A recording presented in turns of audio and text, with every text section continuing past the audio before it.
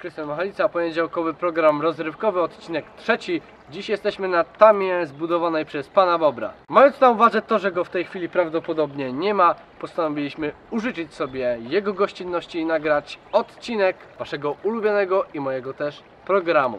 Cybersport rozwija się jak mało która dziedzina i z tego powodu Zespół Szkół Technicznych i Ogólnokształcących w Kędzierzyniu Koźlu postanowił na kierunku technik informatyk zrobić klasę o profilu tworzenie gier i e-sport. Na czym ta cała zabawa będzie polegała? Mianowicie w jednej, jak przypuszczam, klasie będą trzy grupy pięcioosobowe. Jedna, ta główna, która ma być może reprezentować szkołę czy klasę oraz dwie tak zwane rezerwowe.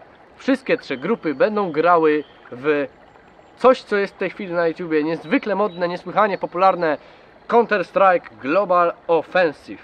Szkoła oczywiście zapewni uczniom dostęp do najnowszego sprzętu, opiekę pedagogów, finanse na wyjazdy turniejowe, no i oczywiście pomoc w utrzymaniu prywatnego serwa. Chyba niewielu jest takich, co matematykę rzeczywiście lubią, ale jak się okazuje, matematyka pomaga w rozwijaniu pasji, jaką jest cybersport oraz przede wszystkim tworzenie własnych gier komputerowych. Jak pięknie czytamy na naszym profesjonalnym tablecie, uczniowie mieli problemy z sinusami i kosinusami na matematyce, ale gdy dowiedzieli się, że wykorzystuje się je przy projektowaniu grafiki trójwymiarowej, od razu nauka poszła im lepiej i takie zachowania trzeba po prostu chwalić. Jeśli widzisz sens nauki, to powinieneś jak najbardziej z tego korzystać jak najwię- i jak najwięcej z nauki czerpać. Matematyka królowa nauk, matematyka, której nie lubię, której nie umiem i której się być może nigdy nie nauczę, okazuje się, że jest potrzebna i bardzo pomocna i być może nawet przyjazna uczniom, którzy uczęszczają na profil tworzenie gier i e-sport. Oczywiście na zachodzie i w Azji ten temat jest już tak średnio aktualny, e, no bo bowiem w wielu placówkach istnieją profile, które umożliwiają uczniom e, zabawę w cybersport oraz e, pomagają rozwijać pasje dotyczące właśnie gier komputerowych.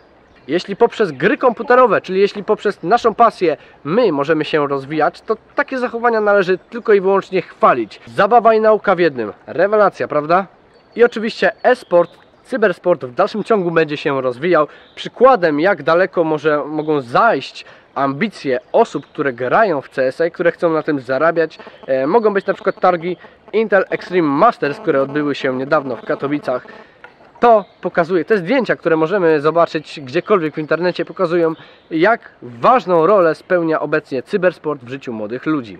No i powtórzę, jeśli przez zabawę uczymy się, to to jest zachowanie, które w pełni trzeba pochwalić. Kto wie, być może już niedługo nawet w Twoim technikum będzie można pograć sobie w CS-a i dostać za to jakąś ocenę, albo może pójść na międzyszkolne zawody z CS-a. W mojej na przykład były w zeszłym roku zawody z LoLa. Kto wie, być może temat rozwinie się i w przyszłości będzie o wiele ciekawiej. Już teraz gracze e, CS-a, nie tylko CS-a, ale również gracze, którzy uprawiają e-sport, zarabiają mnóstwo kasy. No a kto wie, być może jeśli rozwój pójdzie w tym kierunku co dotychczas, te pieniądze będą o wiele, wiele wyższe. Lubicie seks? Lubicie. Jak się okazuje, Biały Dom nie istnieje tylko i wyłącznie w Waszyngtonie i nie jest siedzibą Baracka Obamy, ale istnieje również w Moskwie. I dzieją się tam być może o wiele gorsze rzeczy niż to, co dzieje się w Białym Domu, tym oryginalnym. Biały Dom w Waszyngtonie jest siedzibą prezydenta, natomiast Biały Dom w Moskwie jest siedzibą rządu. I pewnego dnia e, jakiś koleś postanowił nakręcić Biały Dom. Wszystkie światła były zgaszone, ale nagle w pewnym momencie w jednym pokoju zapaliła się lampka. No i kamerzysta co zrobił? Oczywiście zachęcony całą tą sytuacją postanowił skierować obiektyw kamery na okno, w którym świeci się owe światło i ujrzał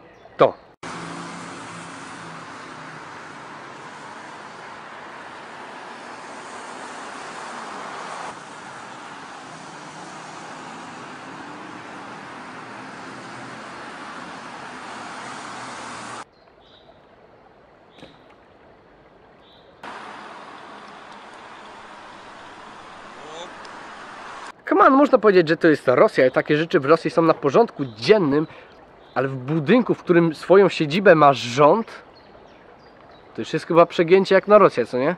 Film ten okazuje się, że e, został wrzucony do internetu w 2013 roku, ale reupload okazał się na tyle skuteczny, że pisały o tym filmie media na całym świecie chyba. Wszystkie ważne, istotne linki będziecie mieli w opisie tego filmu. Tutaj będziecie mieli jakiś obrazek, który po kliknięciu sprawi, że wasz świat stanie się piękniejszy.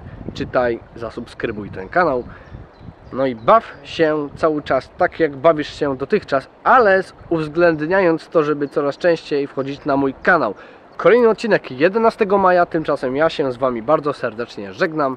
Pamiętajcie jeszcze raz, żeby zasubskrybować ten zajebisty kanał i pamiętajcie, raz na wozie, raz chujcie w dupę.